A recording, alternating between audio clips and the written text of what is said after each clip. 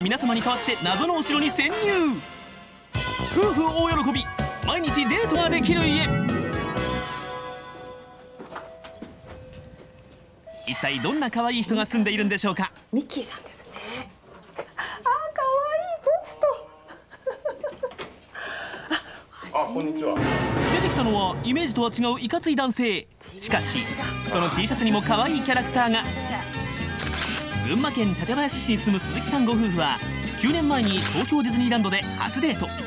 以来すっかりハマってしまい今でも毎週末必ずディズニーランドでデート。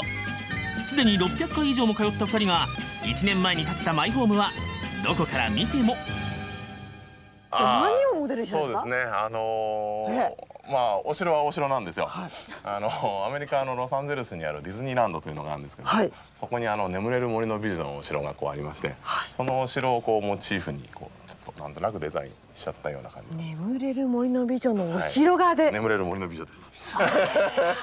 なんか対照的なお二人ですね私が起こしました。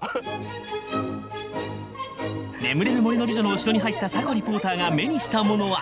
なんかもうワクワクしますねやっぱり中はディズニーだらけ。ここはあの、はい。フルートというはい。キャラクターなんですけども、あのうちの家内がですね、はい。フルート大好きなんですよ。彼はこういうボディカラー黄色なんでよく風水の先生がおっしゃるにあ。西に黄色っていうお話ありますよね、はこちらが西なんです。そういうこう金運をえ呼び呼びこう呼び込もうと。どうですか金運。全然良くならないですね。そうですか、はい嫌なんですけども。そしてご主人の寝室は？ご主人？はい。この大きな体でここにそうです。お休みになってるんですか？えあのー僕大きいんで一応セミダブル。ちょっと寝てみてくださいご主人。ちょっとこれ布団かぶって。そうですか。はい。じゃあちょっと失礼させていただいて。ご主人。そのまま起きてこなかったらごめんなさい。ご主人、はい。今おいくつですか？えー、40です。40はい。40の男がおやすみなさチップとデールのはい布団かぶって、い。はい。壁には一面のディズニーキャラクターがところがご主人のコレクションこれはまだまだ一部だったんですあのこちらのお部屋です。どうぞ。こちらがじゃあコレクションルームですね、いっぱい物が詰まってるお部屋なんですけど。なんか広そうなお部屋ですけど なんか恐ろしいほどそうですか。多分2500から3000はあるのかなっていう気はしますけども。でもよく見ると同じキャラクターのものばかりじゃありませんか？同じぬいぐるみでしょ、はい、同じなんですよ。例えばあのこれ、デールという同じぬいぐるみなんですけども。あのちょっとこう顔の表情が違っちゃったりとかするとあ可愛い買いたいとか2人のお城の隣は奥さんのご両親の家さてその本音は？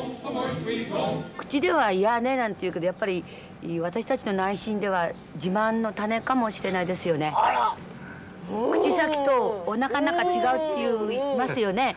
だからいえあの返事くりのうちなんですよねって言っても内心はうふふふと笑ってるっていう感じ。来てみいとかって感じですよね。ウォルト・ディズニーさんがすごくいい言葉言ってまして、あのディズニーランドは永遠に完成しないっていうふうにかっこいい言葉を言ってるんですよ。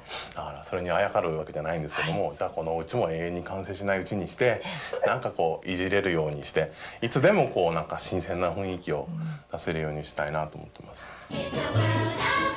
雨が続くこの時期でも家にいながら気分はディズニーランド。2人は毎日熱々のデート気分で暮らしているといいますいかがでしたか？大満足の家に対する基準は人それぞれでしょうがあなたは今お住まいの家に何か大満足の部分を持っていらっしゃるでしょうか？